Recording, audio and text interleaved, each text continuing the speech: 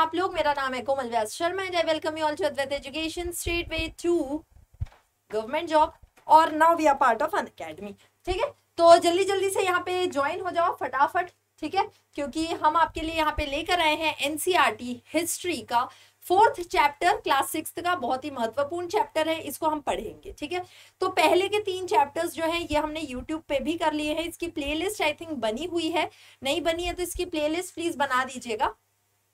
ठीक है? तो प्लेलिस्ट बन जाएगी। थर्ड चैप्टर का जो छोटा मोटा पार्ट बचा हुआ था, उसको मैंने कंप्लीट कर लिया था। स्पेशल क्लास में जो कल मॉर्निंग 11 एम पर हुई थी। ठीक है? आज हम पढ़ने वाले हैं फोर्थ चैप्टर। इसी फोर्थ चैप्टर को अगर अभी हम खत्म कर लेते हैं तो अच्छी बात है, और अगर हम खत्म नहीं कर पाते हैं तो इसी को ही हम पढ़ेंगे आज रात के दस बजे। कहाँ पर? अगेन हमारी स्पेशल क्लास में, जो कि अन अकेडमी पर होती है, ठीक है? उसकी लिंक भी है दी हुई तो आप लोग देख सकते हैं स्पेशल क्लास की लिंक दी हुई है, ठीक है?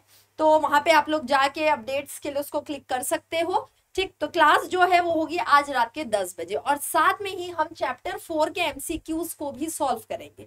ठीक है? स्पेसिफिकली जो ये वाला हमारा सेशन चल रहा है, ये सिर्फ़ वो सिर्फ़ एनसीआरटी बेस्ड ही है। ठीक है? तो इसके आगे नहीं जाना, इसके पीछे नहीं जाना, सिर्फ़ उस चीज़ को हमें देखना जो एनसीआरटी के लिए महत्वपूर्ण होता है। चलो, ओके, फटाफट सेशन को शेयर कर दीजिए।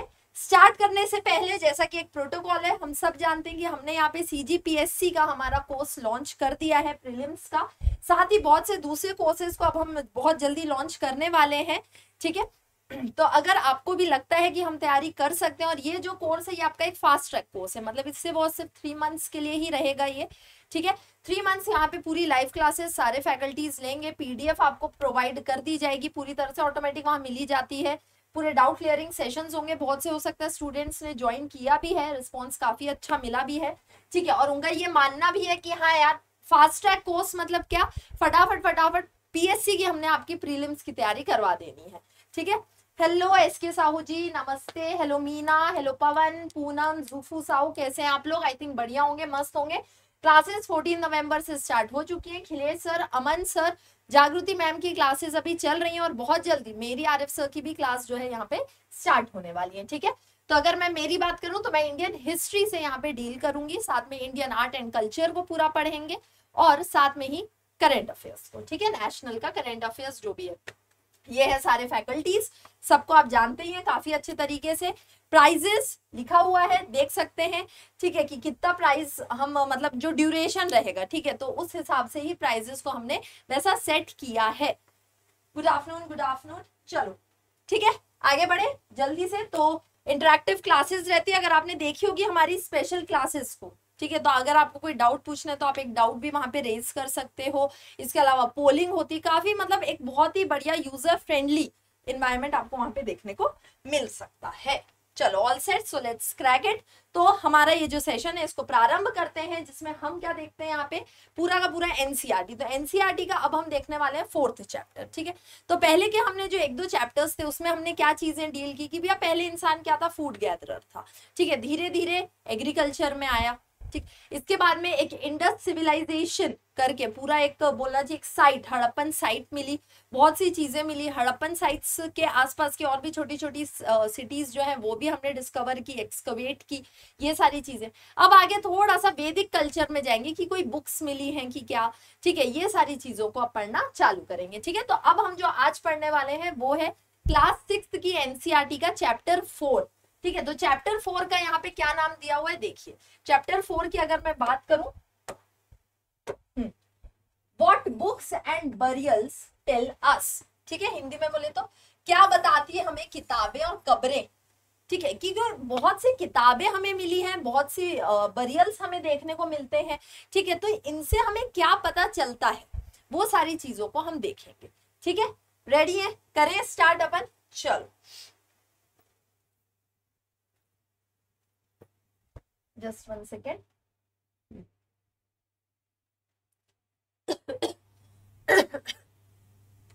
अभी अगर बात करें कि सबसे ओल्डेस्ट किताबें, अगर हम हमारे इतिहास की बात करें कि सबसे ओल्डेस्ट किताबें कौन सी है तो चार वेद जो कि यहाँ पे डिस्कवर किए गए थे, ठीक है कंपोज किए गए, बनाए गए thirty five hundred years ago ठीक है, और ये चार मेन वेद कौन कौन से हैं तो क्या बोलोगे भैया? ऋग्वेद सामवेद यजुर्वेद और अथर्ववेद।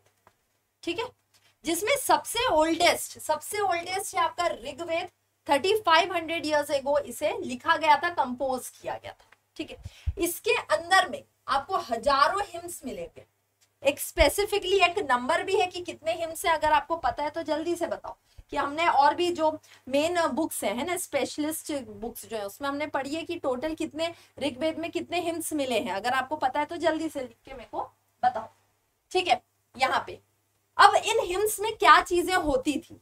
ठीक है ये भी बोल सकते इन्हीं हिम्स को सुक्त कहा जाता था सुक्त भजन होना या फिर श्लोक होना ये सारी चीज़ें सुक्त इनमें जो भी भगवान थे गॉड हो गए गॉडेसेस हो गई, जितने भी, है ना, उन सब के तारीफें दी रहती थी प्रेजेस अब कौन कौन से इंपॉर्टेंट भगवान हुआ करते थे? अगर ऋग्वेद में ही स्पेसिफिकली अपन देखें कि कौन से स्पेशल और इम्पोर्टेंट आपको यहाँ पे गॉड देखने को मिलेंगे तो एक तो भैया अग्नि देवता। अग्नि देवता आपको देखने को मिलेंगे। दूसरे इंद्र।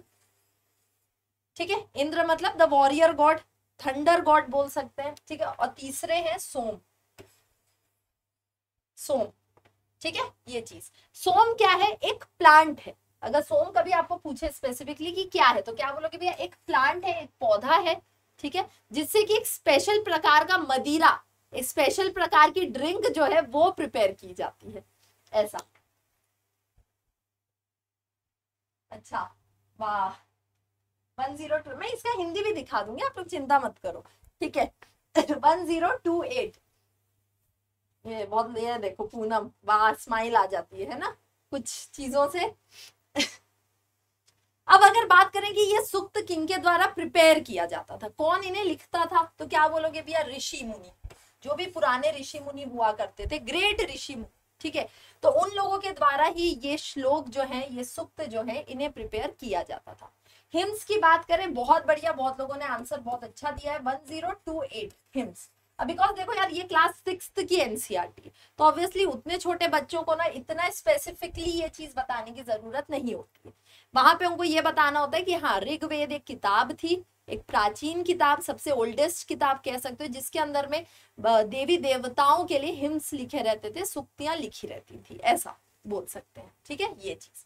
अब ये प्रीस्ट जो थे, है ना, ये अपने स्टूडेंट्स को जो भी मतलब जो भी ऋषि मुनि है, अभी इनके आश्रम में बच्चे जाते थे पढ़ने के लिए, राजा महाराजाओं के जितने भी बच्चे हैं ना, उन सबको ये श्लोक याद करवाया जाता था, ठीक? मेमोराइज करवाया जाता था हर चीज़ word to word sentence to sentence bit by bit ऐसा, ये चीज़, है ना?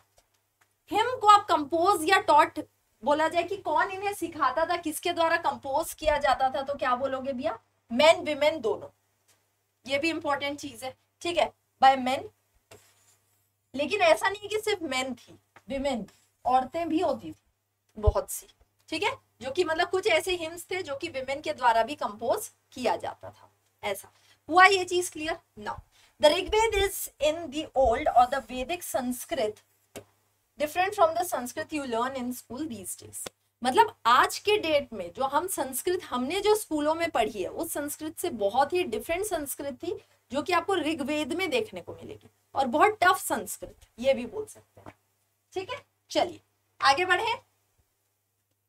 आई होप ये वाला आपको पूरा पेज समझ आ गया होगा। सेम चीज़ हिंदी में दी हुई है।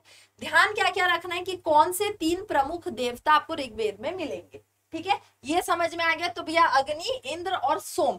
तो उसमें सोम क्या है ये आपको पता होना चाहिए। इंद्र भगवान किसको डिनोट करते हैं? अग्नि किसको डिनोट करते हैं? ये सारी चीज़ें ठीक है? जितनी सुक्तियाँ थी किसके द्वारा आ, इनकी रचनाएँ की जाती थी ये सारी चीज़ें पता होनी चाहिए। अब बात जब संस्कृत की निकली है तो संस्कृत भाषा की बात कर लेते हैं। ठीक है? तो अगर मैं संस्कृत भाषा की बात करूँ तो बहुत सी ना डिफरेंट डिफरेंट फैमिलीज़ लैंग्वेज की फैमिलीज़ आपने पढ़ी होगी। ठीक है तो एनसीआरटी में वही चीज़ आपका बेस दिया हुआ है यहाँ पे थोड़ा सा कि जो बहुत सारी भाषाएँ हैं, वो किसी ना किसी फैमिली को क्या करती है बिलोंग करती है। ठीक है तो वैसे अगर संस्कृत की बात करें तो ये बिलोंग करता है इंडो यूरोपियन ठीक है भारोपीय बोल सकते हो, भारत और यूरोप इंडो यूरोपियन ठीक है तो इस फैमिली को, इस भाषा परिवार का ये हिस्सा माना जाता है, किसको? संस्कृत को। क्या अकेला संस्कृत है क्या इसके अंदर में? नहीं, बिल्कुल नहीं। ठीक है इसमें बहुत सी भारत की भाषाएँ इंक्लूडेड है, एशिया की कुछ भाषाएँ इंक्लूडेड है, जो इंडिया से बाहर वाला जो पार्ट है वहाँ की। साथ में यूरोप की भी बहुत सारी लैंग्वेजेस इंक्लूडेड है। और ये सारी लैंग्वेजेस इसी पर्टिकुलर इंडो यूरोपियन फैमिली के ही अंतर्गत आती है। ठीक है? इसमें कौन कौन सा आएगा? क्वेश्चन बनते हैं यहाँ से, है ना? बहुत से आपने शायद क्वेश्चन देखेंगे भी होंगे प्रीवियसली कि आपको बोल देगा कि बताइए, इनमें से कौन सा इंडो यूरोपियन फैमिली का एक लैंग्वेज है? ठीक है? ये सब पूछता है तो ध्यान रखना है, देखो दिया हुआ है सीधा सीधा एनसीआरटी में, संस्कृत भाषा। इसके अलावा अब इंडो यूरोपियन तो इंडिया की भाषा है और यूरोप की। तो देखो, भारत की बात करें तो एसमीज, असम में जो बोली जाती है लैंग्वेज गुजराती, हिंदी, कश्मीरी और सिंधी, ये पाँच इंडिया की भाषाएँ हैं जो इंडो यूरोपियन के अंतर्गत आती है। हुआ क्लियर ये चीज़? हम्म। भारोपीय हाँ सिर्फ़ ऋग, ऋग्वेद की सखाएँ। सखाएँ नहीं बोलते उसको पवन। मतलब आप वो बात कर रहे हो क्या? ब्राह्मण हो गए उपनिषद हो गए, इन सब के बारे में पूछ रहे हो। हेलो बीमी गुड आफ्टरनून हम्म ठीक है। इसके बाद में एशिया की भाषाएँ, एशियाई भाषाएँ देखो यहाँ पे। बंगाली नहीं है बेटा, देखो, यहाँ पे अगर आप देखो, बहुत सी भाषाएँ कुछ यहाँ पे दी हुई है, जैसे, ठीक है। एशिया की भाषाओं में क्या आ जाएगा? फारसी तथा फारसी सॉरी बस, ठीक है। यूरोप की भाषाएँ, जैसे कि आपकी अंग्रेज़ी, फ्रांसीसी, जर्मनी, यूनानी, इटली, स्पेनिश आदि। ये सारी भाषाएँ आपके इंडो यूरोपियन में आ जाती है, ठीक है। ये, अब इन्हें एक भाषा परिवार किस लिए कहा जाता है? ये भी कभी पूछ सकते हैं, ठीक है? कि भैया किसी भी लैंग्वेज को हम एक ये फैमिली वाली लैंग्वेज क्यों बना रहे हैं कि इंडो यूरोपियन के अंदर में ये सारी लैंग्वेजेस आ रही है? इसका क्या यूज़ है? मतलब क्यों ऐसा किया जाता है? तो इसका कारण ये है कि इन सारी लैंग्वेजेस में जो वर्ड्स का प्रयोग किया गया है ना, ये ऑलमोस्ट सबके सब क्या है? मतलब एक जैसे ही थे। जितने भी शब्द थे वो कैसे थे? एक प्रकार के थे। जो कि हमने मूवी में आपने देखी होगी अक्षय कुमार की मूवी नमस्ते लंदन। ठीक है तो उसमें वो उदाहरण भी देते हैं कि भैया मातृ जो है, वो संस्कृत में क्या बना संस्कृत में उसे मातृ बोला जाता है, अंग्रेज़ी में उसे मदर बोला जाता है, हिंदी में उसे माँ बोला जाता है। ठीक है तो कहीं ना कहीं शब्दों को देखिए सेम पैटर्न में है दैट्स द रीजन कि ये एक ही फैमिली के अंतर्गत आते हैं। ये इसका एक्चुअल डेफिनेशन होता है। ठीक है कि ये इंडो यूरोपियन हो गया या फिर द्रविडियन लैंग्वेजेस की अगर हम बात करें, ठीक है, या फिर एस्ट्रो लैंग्वेजेस की बात करें, ठीक है, ये क्या है, ये फैमिलीज़ है, इसके अंदर में बहुत सारी भाषाएँ आती है, ठीक है तो ये एक फैमिली के अंदर में मतलब क्या हुआ, ये सारी भाषाओं में जो शब्दों का प्रयोग किया गया, ये ऑलमोस्ट सेम टाइप के ऐसा, ठीक है, ये चीज़।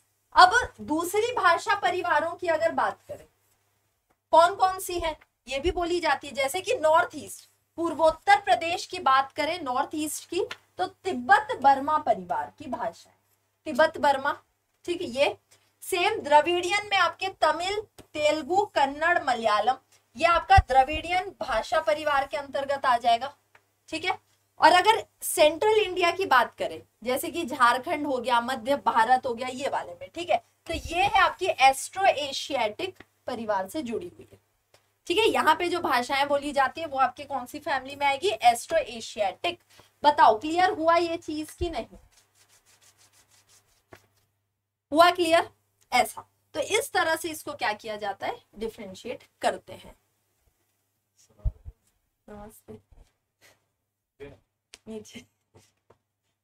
नीचे हम्म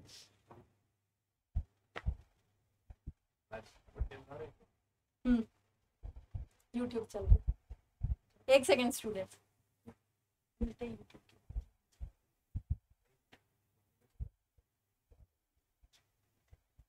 हम्म। हाँ, हाँ। चलो। हाय रिचा मैं बढ़िया आप बताओ। चलो यहाँ पे आगे बढ़े। हो गया क्लियर इतना? चल। अब देखिए यहाँ पे। अब अगर इन किताबों की बात करें मतलब जैसे ऋग्वेद हो गया आपका, ठीक है? ये रिटर्न होती थी और प्रिंट होती ठीक है? ऋग्वेद को बोला गया है रिसाइट किया गया है, ठीक है? हर्ड रेदर देन रेड ये चीज़ मतलब उस, उसके अंदर की जो भाषा लिखी हुई है ना, वो इतनी मतलब उसको कुछ ही ऐसे लोग हैं जो उसको पढ़ सकते हैं। ठीक है? नहीं तो बाकी जनरली ऋग्वेद को एक जगह से दूसरी जगह क्या बोला जा सकता है कि रिसाइट किया गया है। ठीक है मतलब हाँ किसी के, के मुँह से आपने सुना है और उसके बाद ही उसको आपने आगे क्या किया है? ट्रांसफ़र किया अपने हिसाब से ऐसा। ठीक है? It was first compose and printed less than two hundred years ago कि पहली बार इसे कंपोज करना लिखना ठीक है प्रिंट करना ये 200 साल पहले ही हुआ है ऐसा कि जब हाँ कोई चीज़ हमें मिला है। हाल बुरा है क्यों किया क्या हो गया ऐसा। हुआ क्लियर ये चीज़? चलिए। आगे बढ़ते अब देखिए, अगर यहाँ पे मैं बात करूँ, ध्यान देना, ठीक है? ऋग्वेद का अध्ययन कैसे करते हैं? इतिहास का, ये चीज़, ठीक है? तो अब ऋग्वेद में क्या दिया हुआ है? बहुत से ना आपको डायलॉग्स मिलेंगे, ठीक है? एक बहुत ही महत्वपूर्ण, बहुत अच्छी चीज़ है देखना, ठीक है? ऋग्वेद के कुछ सुख जो है, वो वार्तालाप के रूप में दिए गए हैं। ठीक है? क्या है? बातचीत दी हुई है, वार्तालाप के रूप में है। जैसे कि विश्वामित्र। विश्वामित्र का नाम हम सब जानते हैं, ठीक है? एक बहुत ही ग्रेट क्या थे? ये ऋषि थे, ठीक है? तो इन्होंने यहाँ पर क्या किया? मतलब विश्वामित्र ने दो नदियों से बातचीत की है, ऋग्वेद के अंदर ठीक है? तो इसी तरह की बातचीतों को भी ना ऋग्वेद में बहुत जगह पे दिखाया गया है, ठीक है? तो कौन सी दो नदियाँ हैं? बहुत इंपॉर्टेंट है, व्यास और सतलज। ठीक है? ब्यास और सतलज नदी और इनकी बातचीत किसके साथ में? ऋषि विश्वामित्र के साथ। ऐसा। ये इंपॉर्टेंट स्टेटमेंट है। ध्यान में रखना, ठीक है? इसको कभी पूछ सकता है कि ऋग्वेद में ऋषि विश्वामित्र ने किन नदियों के साथ में वार्तालाप किया है? इस तरह की चीज़ यहाँ पे मतलब कौन से सुक्त में देखने को मिली है? ऐसा सुक्त किस नदियों के साथ में वार्तालाप हुआ है? तो ये मालूम होना चाहिए व्यास नदी और सतलज नदी। ऐसा, ठीक है? तो उनके बीच का जो भी संवाद है वो आपको यहाँ पे देखने को मिलेगा। हुआ, हेलो ममता, जय हिंद। ये आज इतने बच्चे कम क्यों है? कहाँ चले गए? सब भगवत गए क्या? मत लो सीरियसली एनसीआरटी को। अच्छी बात है। चलो, आगे बढ़ते ठीक है, हुआ, अब देखो, ये ऋग्वेद है। कुछ समझ में आ रहा है? नहीं आएगा। संस्कृत, जबकि हम सब पढ़े हैं, लेकिन फिर भी आपको ना ये चीज़ नहीं समझ में आने वाली। ठीक है, क्योंकि ये बहुत ही टफ बहुत ही अलग तरह की यहाँ पे आप बोल सकते हो कि लैंग्वेज जो है, संस्कृत की, उसे यूज़ किया गया था, ठीक है? तो ये क्या है? ये एक मैनुस्क्रिप्ट है अगेन पांडुलिपि जिसको कहते हैं, ऋग्वेद की एक पांडुलिपि है मैनुस्क्रिप्ट है किस पर लिखी हुई है? तो बर्च बार्क पे अगेन बर्च, याद आ रहा है? कहाँ पे प्राप्त हुआ था? कश्मीर में। भाई जो जिसमें लिखते थे, पत्ते में ठीक है? तो बर्च पत्ता जो होता था, वो कहाँ पाया जाता था? कश्मीर में। इसको हमने फ़र्स्ट चैप्टर में देखा है। तो उसी पर ही है देखिए, ऋग्वेद में ये चीज़ें लिखी गई है। ठीक है? It was prepare one of the earliest printed text of the Rigveda. मतलब ऋग्वेद किताब का पहला प्रिंटेड टेक्स्ट ये था, बना हुआ। ठीक है? सेम इसका ट्रांसलेशन इंग्लिश में भी आपको देखने को मिलेगा। और इंग्लिश वाले को यहाँ पे क्या किया गया है? लाइब्रेरी में प्रिजर्व करके भी रखे कहा? पुणे, महाराष्ट्र में। महाराष्ट्र पुणे के एक लाइब्रेरी में इसको क्या कर दिया गया यहाँ पे प्रिजर्व कर दिया गया ठीक? ऐसा। तो ऋग्वेद इस तरह का दिखता था। इस तरह से मतलब ये लोगों ने लिख के रखा था उसको, ताकि वो किताबें ऑब्वियसली कहीं गुम गुमा न जाए उस वजह से। ऐसा। ठीक है? अब देखिए, विश्वामित्र और नदी की ये जो कहानी है ना, ये बहुत अच्छी, बहुत इंटरेस्टिंग कहानी है। ठीक है? क्या बोल रहे पूनम, नहीं नहीं समझ आया क्या बोल रहे ठीक है, देखिए तो अगर अब मैं इन नदियाँ और विश्वामित्र की स्टोरीज के बीच की यहाँ पर बात करूँ, ठीक है, कि क्या कहानी थी? अच्छी इंटरेस्टिंग कुछ नहीं है। तो विश्वामित्र जो है, वो नदियों को इन्होंने मतलब हॉर्सेस ये देखो, यहाँ पे यू विल फाइंड समथिंग ठीक है, फुर्तीले घोड़ों की चाल, ठीक है, इस तरह से उन नदियों को क्या किया है? बोला है, ठीक है, जैसे नाम देते हैं ना अपन, ठीक है तो नदियों को ये नाम दिया गया है, यहाँ पर, ठीक है और इनसे क्या बोला है कि यार तुम मतलब बोलना चाहिए कि एकदम फुर्ती से तुम एकदम निकलती हो और जल से परिपूर्ण हो, एक दूसरे से मिल जाना चाहती हो। नदिया, ये चीज़। नदी क्या बोलती है? जल से परिपूर्ण हम देवताओं के बनाए रास्ते पर चलती है। ठीक है? देवता ने हमारे लिए रास्ते को बनाया है, हम चल रही हैं। एक बार निकलने पर हमें कोई नहीं रोक सकता। ऑब्वियसली यार, नदी का बहाव एक बार निकल गया उसे रोक पाओगे क्या? उसको कभी नहीं रोक सकते, ठीक है? वो निकले। हे ऋषि, तुम हमसे प्रार्थना क्यों कर रहे हो? तो विश्वामित्र जो है, वो नदियों से प्रार्थना कर रहे ठीक है? तो वही नदी पूछ रही कि भैया, क्यों प्रार्थना कर रहे हो? हमारी इतनी तारीफ़ क्यों की जा रही है है ना? मतलब आपको क्या चाहिए? विश्वामित्र जो है, वो अब बताएँगे, ठीक है? कि मैं रथों और गाड़ियों सहित बहुत दूर से आया हूँ ठीक है, मैं बहुत दूर से मतलब रथ और गाड़ियों के साथ आ रहा हूँ। अपने बहाव को आप क्या करो थोड़ा सा कम करो, ताकि मैं आपकी नदी को, आपको क्या कर सकूँ? क्रॉस कर सकूँ। वही चीज़ देखिए, लिखा हुआ है है ना? कृपा करके अपने जल को हमारे रथों और गाड़ियों की धुरिया से के ऊपर न उठाओ, ताकि हम आसानी से उसे पार कर सके। आसानी से हम निकल सके। ये चीज़, ये ऐसी प्रार्थना दिखाई गई है, ऋग्वेद में लिखा हुआ है ये चीज़, ठीक है? हम तुम्हारी प्रार्थना सुनेंगे, जिससे तुम सब सुरक्षित उस पार जा सकोगे। ऐसा। ठीक है तो ये छोटा सा वार्तालाप आपको देखने को मिलेगा। ये चीज़, ठीक है? तो इतिहासकार यहाँ पे क्या बताना चाहते हैं कि यह प्रार्थना उस क्षेत्र में रची गई होगी, जहाँ ये नदियाँ बहती है। तो भैया, ब्यास और सतलज नदियाँ कहाँ पे बहती हैं? तो ऑब्वियसली हम सब जानते हैं, इंडस वैली सिविलाइजेशन वाला जो पार्ट है, आपका पंजाब वाला पार्ट है, वहाँ पर ही ये क्या होता है आपका? बहती है नदियाँ जो है तो वहीं पर ही इसकी रचना की गई ठीक है? ऐसा। वे यह भी सुझाते हैं मतलब कौन? इतिहासकार हिस्टोरियंस कि जिस समाज में ऋषि रहते थे मतलब ऋषि उस समय विश्वामित्र जो है, वो जिस सोसाइटी में रहते थे, जिस समाज में रहते थे, वहाँ पर घोड़ों को और गायों को बहुत महत्व दिया जाता था। ठीक है? हॉर्सेस भी उनके लिए बहुत इंपॉर्टेंस रखती थी, साथ में गाय मतलब क्या हाँ कैटल काउस भी आप बोल सकते हो। उसका कारण क्या? भैया, घोड़े जो है वो युद्ध में काम आते थे। काउस की बात करें तो भी दूध दूध देने के काम आती थी, काफ़ी होली एनिमल मानी जाती थी, ऐसा। तो एक ऐसा समाज जहाँ पे घोड़ों और गायों को बहुत महत्व दिया जाता था, ठीक है, इसीलिए इन्होंने क्या किया, नदियों की तुलना जो है, वो घोड़ों और गायों से की गई है। ऐसा ऋग्वेद में नदियों की तुलना की गई है किससे?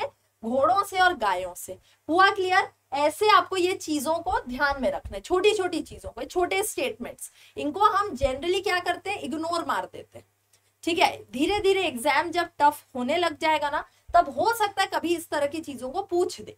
ठीक है? तो ऑलवेज रिमेम्बर एनसीआरटी बहुत इंटरेस्टिंग है। सिर्फ़ पढ़ना आना चाहिए अपन को।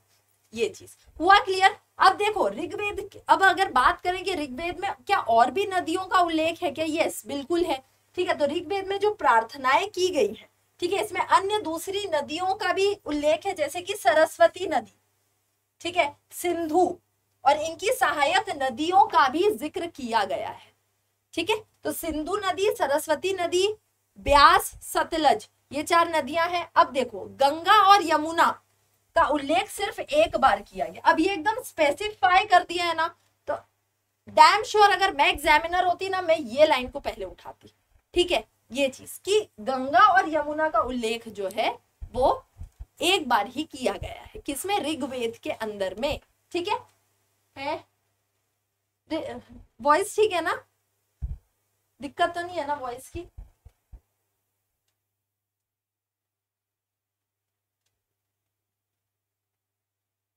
एक सेकेंड ना स्टूडेंट्स जस्ट गिव मी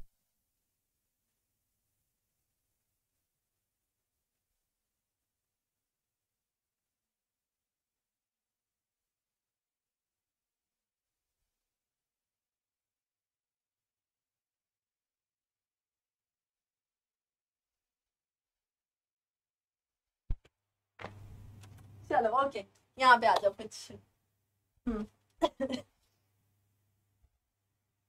ठीक है? हुआ क्लियर इतना चीज़? हाँ आगे बढ़ते हैं। अब देखो यहाँ पे कैटल हॉर्सेस चैरियट्स इन सब के भी बारे में कुछ कुछ दिया हुआ है, मवेशी हो गए, घोड़े। अच्छा यहाँ पे ये अगर अपना खत्म होगा ना तो आज रात के दस बजे ज्वाइन कर लेना। ठीक है? क्लास जो है स्पेशल क्लास उसको ज्वाइन कर लेना। वहाँ पे अपन ये चैप्टर भी खत्म कर देंगे, इसके क्वेश्चंस भी करेंगे सॉल्व ठीक है? अब देखिए, ऋग्वेद में मवेशियों, बच्चों मतलब पुत्र पुत्र के लिए प्रार्थनाएँ होती थी ना तो बच्चों, और घोड़ों की प्राप्ति के लिए अनेक प्रार्थनाएँ की जाती तीनों के लिए। कि भैया गाय वाय अच्छी, बढ़िया, सुंदर सी मवेशियाँ हमें मिले, हमें पुत्र की प्राप्ति हो। ठीक है? जैसे पता नहीं कितने पुत्र करने वाले हैं, एहसान। ठीक है, और घोड़ों की प्राप्ति हो ऐसा, ठीक? घोड़ों को अभी अभी सबका इंपॉर्टेंस बताएगा, ठीक है? जैसे कि अगर घोड़ों की बात करें, क्यों इसकी ज़रूरत क्यों है? क्यों ऑब्वियस सी बात है यार कि लड़ाई में जब रथ को खींचना घोड़ा ही खींच सकता है।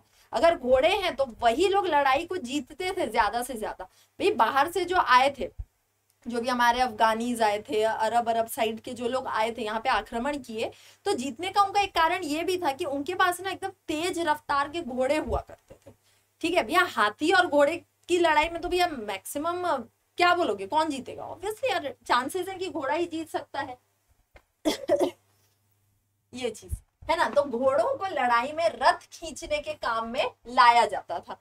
ठीक इन लड़ाइयों में मवेशी जीत कर लाए जाए। अच्छा अब ये लड़ाइयाँ किस लिए होती थी? उस समय की बात हो रहा है। कब की? वैदिक कल्चर के टाइम की बात हो रही है।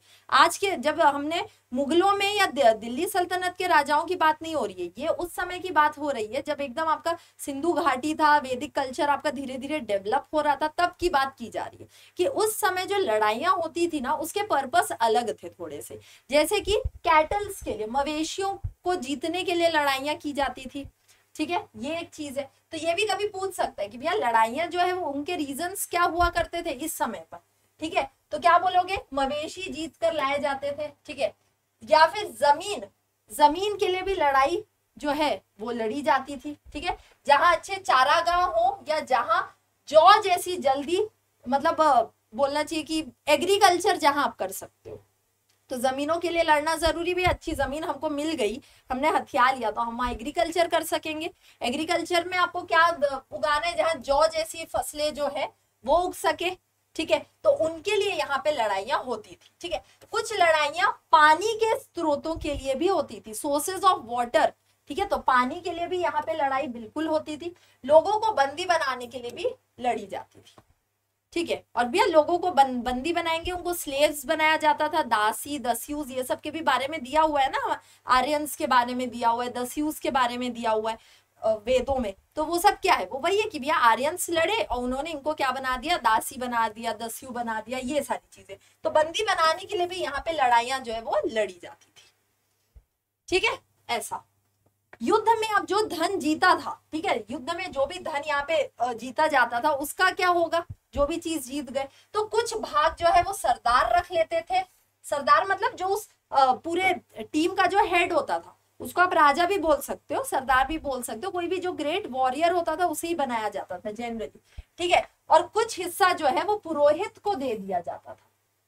पुरोहित मतलब समझ में आया? ठीक है, ब्राह्मण आप कह सकते हो, ठीक है? तो इन्हें यहाँ पे कुछ कुछ मटेरियल दे दिया जाता है। हेलो शीमल शेख हवायू शेष धन आम लोगों में बांट दिया जाता था। कुछ जो है वो आम लोगों को भी बांट दिया जाए। ये स्टेटमेंट्स बहुत इंपॉर्टेंट है।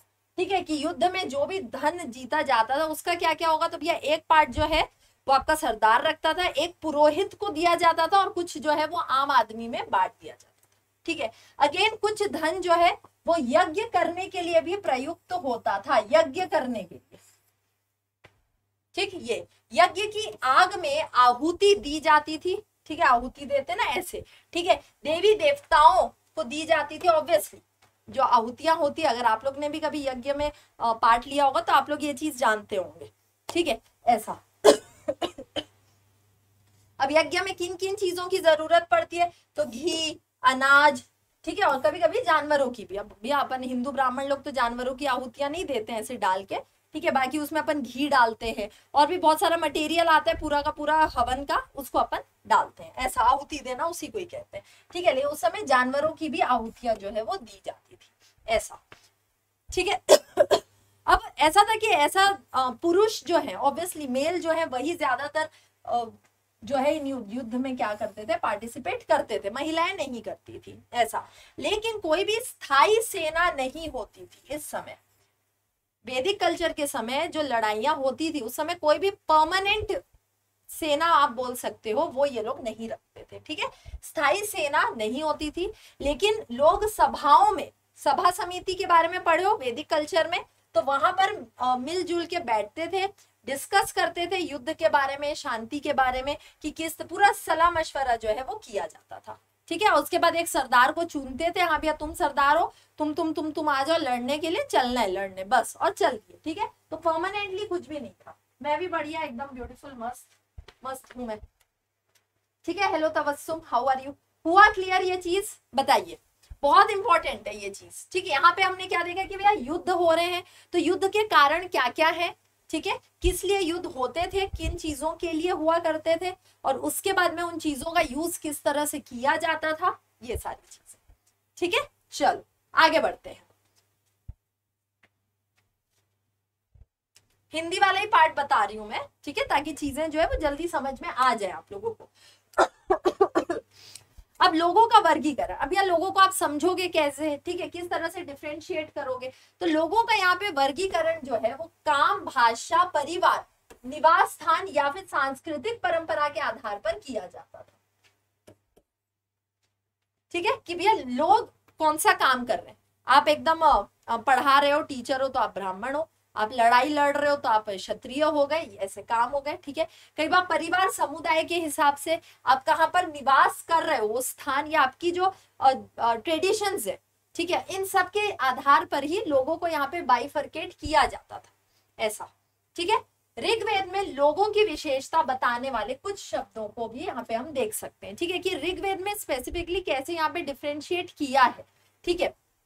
जैसे कि ऐसे दो समूह हैं जिनका वर्गीकरण काम के आधार पर किया गया।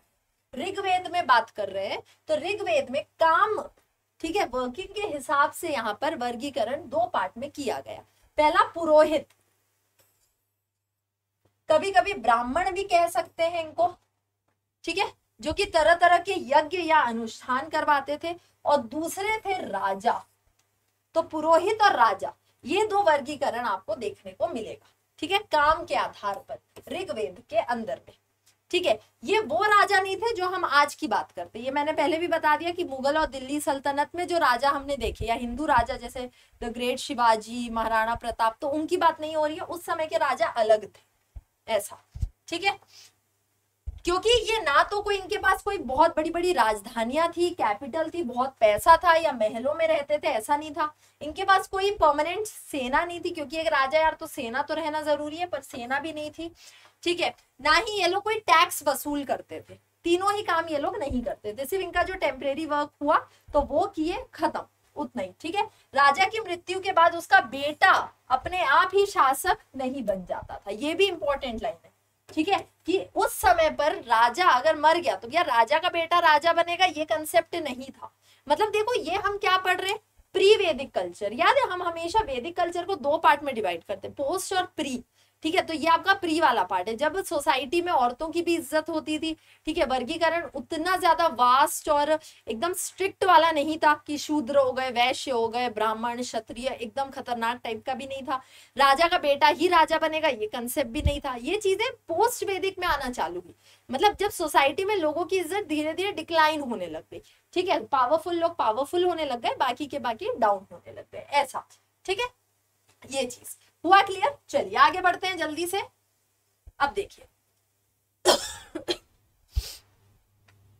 अब जनता या पूरा समूह, ठीक है मतलब पूरी सोसाइटी की बात करें, पब्लिक की बात करें तो इनके लिए भी दो शब्दों का यहाँ पे इस्तेमाल किया जाता था, ठीक है? एक था जन जन।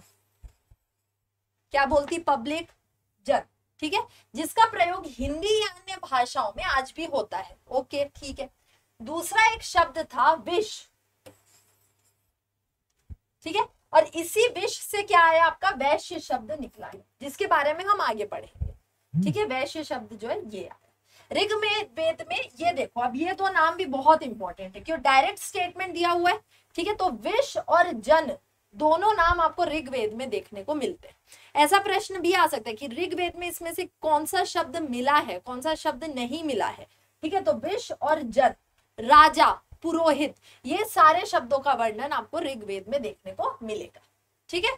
ये चीज़। हुआ क्लियर ठीक है, वो यदु जन ठीक है मतलब यदु पूरा आपका जो फैमिली है, पूरी पब्लिक है, वो हो गया भरत जन भैया, पूरा क्लैन थे ना ये सारे? भरत क्लैन एक था, यदु क्लैन एक था। ठीक है तो क्लैन बोल लो, जन बोल दो, या फिर विश बोल दो, सब एक ही बात है। ये चीज़। ठीक है? ऐसे जो उल्लेख है इस तरह के बहुत। पुरु।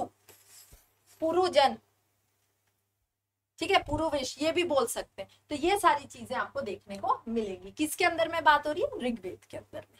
ऐसा, ठीक है? खासकर ये तीन ध्यान में रखने कौन सा? पुरुजन भरत जन और यदुजन। और भी कई सारे हैं बिकॉज़ एनसीआरटी में स्पेसिफाई तीन किया है। तो चांसेस होते हैं कि इसको पूछ लिया जाता है, ये चीज़। ठीक है? आगे बढ़ते हैं। बहुत से लोगों का ये मानना था कि ऋग्वेद में जो सुक्तियाँ हैं, जो हिम्स हैं, जो कंपोज किए गए हैं, वो लोगों ने खुद को आर्यों के रूप में डिस्क्राइब किया कि भैया हम कौन है? आर्य है, ठीक है? और हमारे ऑपोजिट जो है, ठीक है? हमारे दुश्मन जो है, ठीक है? या फिर हमारे ओपोनेंट जो है, वो कौन है? दास या दस्यूस। उन्हें दास या दस्यूस कहा गया है, ठीक है? और जिन्होंने कंपोज किया है ऋग्वेद को, उन्होंने खुद को आर्य कहा है। ठीक है? अब ये कोई मतलब बोलना चाहिए they were the people who did not perform any sacrifices ठीक है? और प्रोबेबली स्पोक डिफरेंट लैंग्वेजेस ऐसा ठीक है? मतलब आ, ऐसा नहीं था कि बहुत ज़्यादा सेक्रीफाइसेस ये लोग करते थे यज्ञ हवन को बहुत मानते थे थोड़ा बहुत ही जो है ये माना जाता था इनके द्वारा ठीक है? द टर्म दास दास होता था मेल लोगों के लिए और वही फीमेल की बात करें तो दासी। ठीक है, जिन्हें हम क्या बोलते हैं? स्लेव और ये शब्द भी आपको ऋग्वेद में मिलेगा देखने को। ठीक है तो स्लेव्स आपके मैन विमेन दोनों होते थे, जिन्हें युद्ध में जीता जाता था। ठीक है, युद्ध में क्या करते थे? इनको जीत लिया जाता था। ये ओनर्स की प्रॉपर्टी हो जाते थे और ओनर्स जैसा चाहे वैसा वर्क उनसे करवा सकते थे। ठीक है ऑब्वियसली यार स्लेव है तो उनको तो उनके हिसाब से रहना पड़ेगा ना। ये चीज़। हुआ क्लियर इतना? बताओ। सिर्फ़ इंपॉर्टेंट चीज़ों को हम देखेंगे।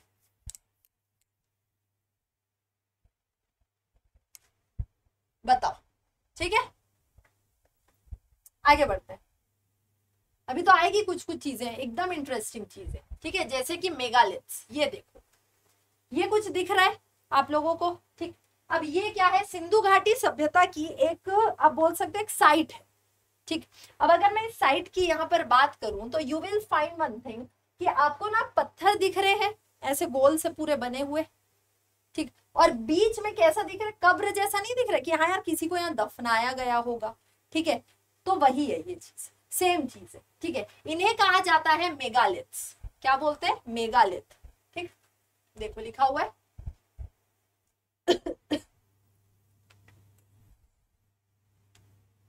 अब अगर बात करें ये क्या है, ये शिलाखंड, अब ध्यान देना, ठीक है, इस इमेज की तरफ़ और यहाँ पे देखना। ये शिलाखंड महापाषाण, ठीक है मतलब बड़ा पत्थर वाला जो युग होता था, महापाषाण, ठीक है, उस नाम से जाना जाता है। तो अगर यहाँ पे मैं बात करूँ, ये मेगालिथ्स, इंग्लिश में इसको मेगालिथ बोलोगे, हिंदी में इसी को ही महापाषाण कहोगे, जिसका मतलब होता है एक बड़ा सा पत्थर बिग स्टोन्स ऐसे, ठीक है।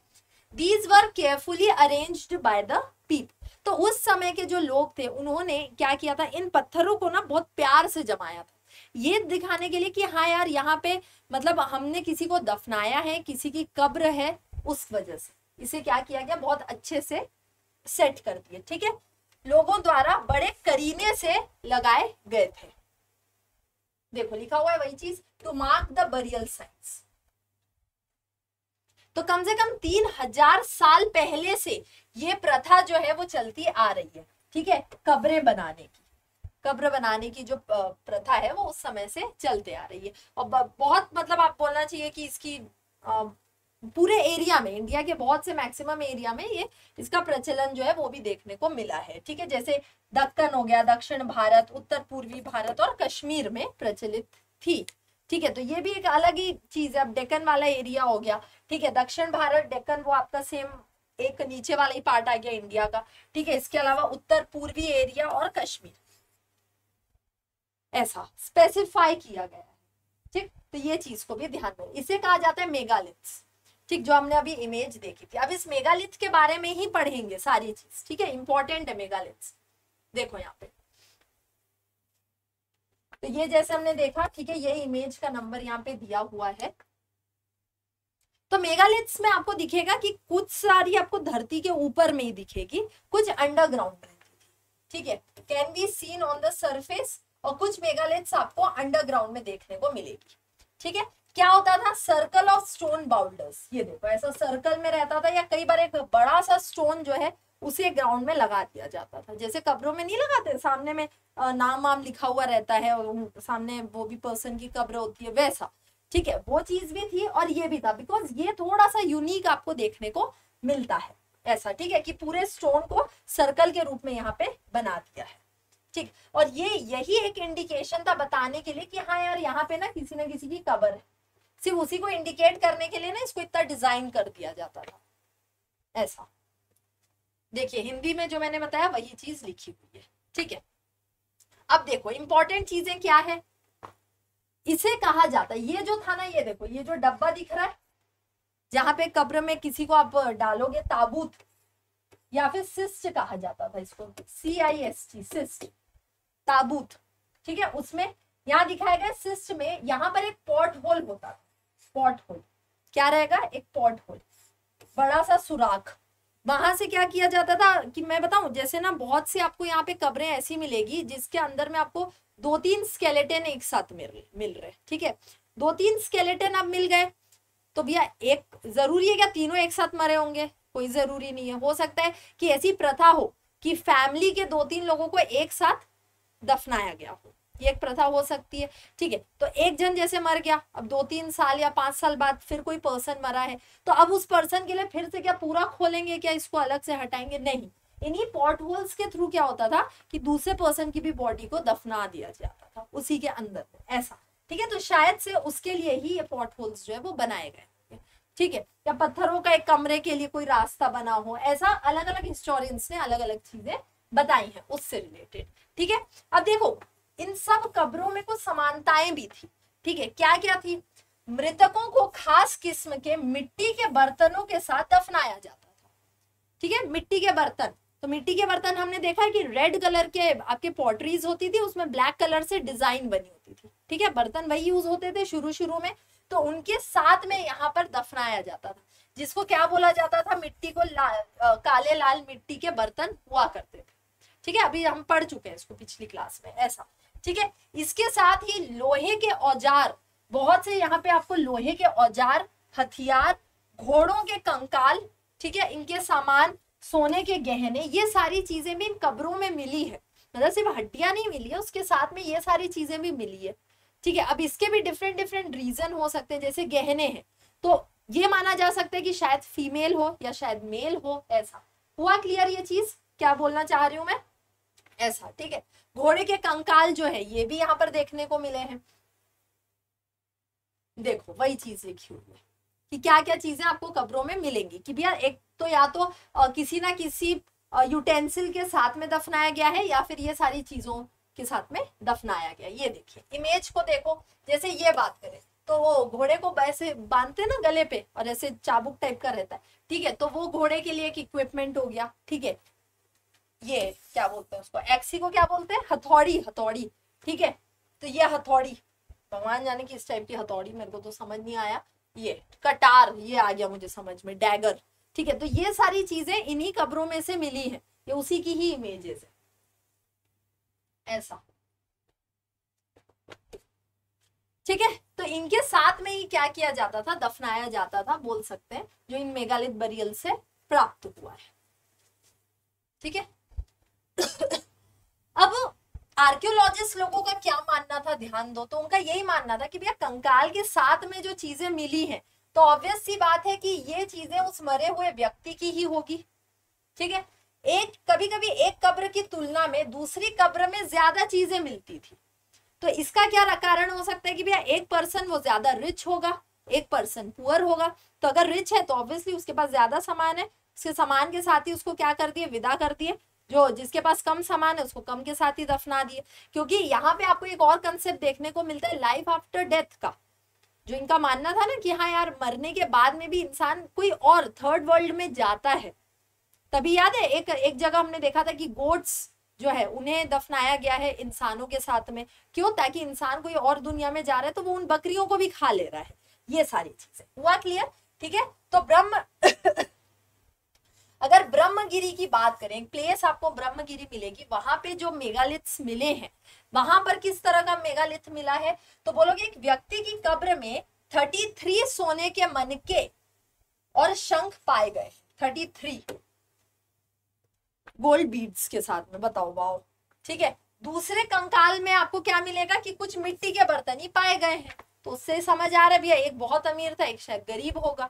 ऐसे, ठीक है? तो कहीं ना कहीं ये चीज़ सामाजिक स्थिति में भिन्नता को दर्शाता है कि कुछ अमीर लोग थे, कुछ गरीब लोग थे। कटारी समझने को भी वही बस समझ में आया। हुआ क्लियर स्टूडेंट्स बताओ, यहाँ तक। हाँ। हाँ वहीं पे। तो वहाँ पे आपको ना ये देखने को मिलेगा। जो माइक्रोलिथ्स है ना, ये सॉरी मेगालिथ्स ये बहुत सारे मिले हैं वहाँ पे। ए, चलना, क्या हुआ? एक मिनट।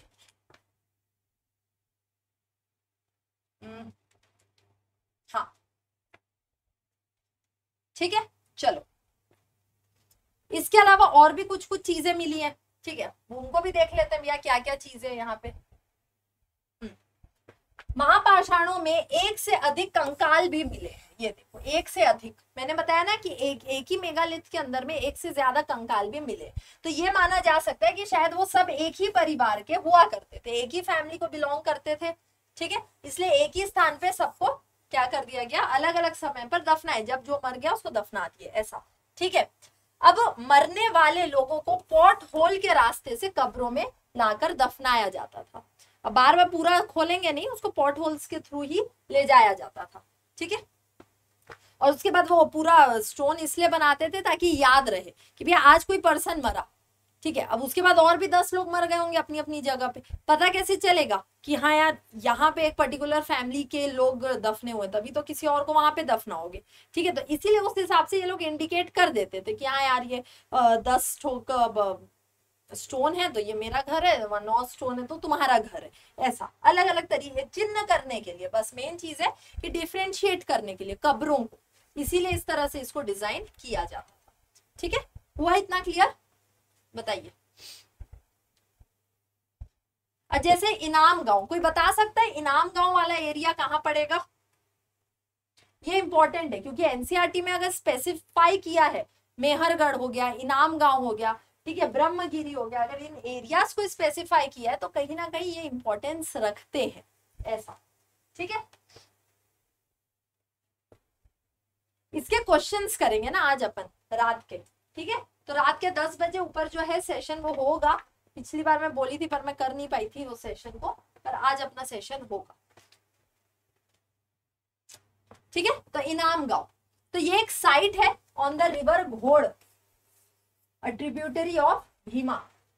Bhima नदी की ट्रिब्यूटरी है घोड़, उसके पास में आपको इनाम गाँव देखने को मिलेगा। ठीक?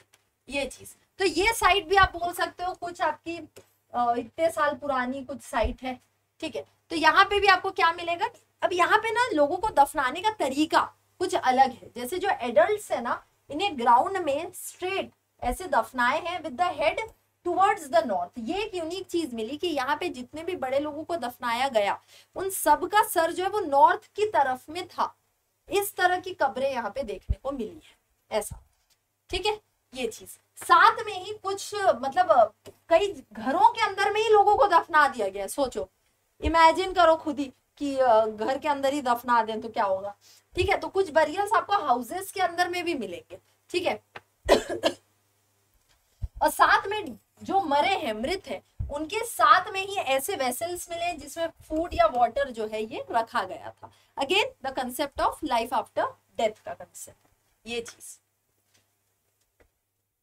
तो इस तरह की कुछ कुछ यूनिक आप कह सकते हो कि यहाँ पे लोगों को दफनाया गया है जो कि यहाँ पे देखने को मिल सकता है आपको, ठीक है? इनाम गाँव के अंदर में। हाँ ठीक है। अब जैसे एक आदमी है, ठीक है? उसे पाँच कमरों वाले मकान के आँगन में, ठीक है? उस आँगन में उसे दफनाया गया, ठीक है? एक बड़े संदूक के अंदर में उसको घुसा दिए। बस्ती के बीच में एक आपको बगीचा गीचा भी मिलेगा, एक बगीचा था बीच में, ये बोल सकते हैं, ठीक है, उसमें एक अनाज का गोदाम था, ठीक है, और जो शव थे, उसके पैर जो है थोड़े मुड़े हुए थे तो इस तरह का भी दिखाया है। एक जगह पे मतलब इनाम गाँव के पास में ये चीज़ आपको मिली है इस तरह की, ठीक है, कि एक शव जो है, एक को नॉर्थ साइड में सर करे हैं एक कैसा मिला है कि बड़े से घर के अंदर में उसको दफनाया गया है। साथ में एक ग्रैनरी है साइड में, ठीक है? और जो शव के जो पैर पैर है, ये भी थोड़े से मुड़े हुए मिले हैं। ऐसा, ठीक है? तो ये कुछ कुछ चीज़ें यहाँ पे देखने को मिल सकती है। हुआ इतना क्लियर बताइए। हेलो अनीता आज क्लास मैंने एक घंटे पहले ले ली थी उसके लिए आई एम वेरी सॉरी ठीक है? कल का सेशन का तो लिंक आज ही मैं बना दूँगी। जितने भी बजे क्लास क्लास रहेगी। थोड़ा सा इसका पार्ट और बचा है, उसको हम स्पेशल क्लास में कंप्लीट कर लेंगे और साथ में ही हम क्वेश्चंस भी सॉल्व करेंगे। ठीक है तो बता दीजिए मुझे कि आज का सेशन आप लोगों को कैसा लगा? ठीक था, बढ़िया था? समझ में आया कि नहीं? चैप्टर फोर ये भी बता दो। और स्टूडेंट्स एनसीआरटी को लाइटली मत लो। ठीक है, बहुत इंपॉर्टेंट है एनसीआरटी पढ़ लोगे ना, तैयारी भयंकर अच्छी हो जाएगी। ठीक है, बहुत सारी चीज़ें आपको एज इट इज़ बन भी जाएगी, समझ में भी आ जाएगा। और आपके जैसे आंसर राइटिंग भी कभी करते हैं अगर हम मेन्स मेन्स का है ना? उसमें भी लिखने के काफ़ी काम आती है ये सारी चीज़ें है ना? तो इसलिए एनसीआर इज़ वेरी इंपॉर्टेंट तो इसलिए ये सब सेशंस को थोड़ा सा अपने दोस्तों के साथ में शेयर भी करते हैं। ठीक है? स्पेशल क्लास में इसके क्वेश्चन को सॉल्व कर लेंगे। तब तक के लिए और क्या बोल रही थी मैं? Hmm, चलो बाद में बोलती हूँ। ठीक है? तब तक के लिए thank you very much take care ध्यान रखो पढ़ाई करते रहो। मेरे टेलीग्राम चैनल को ज्वाइन कर लेना। ठीक है? पीडीएफ मुझे समय मिलेगा तो मैं ऑब्वियसली मैं उसको अपलोड मार दूँगी, ठीक है? चलो, तब तक के लिए bye see you all love you all take care जय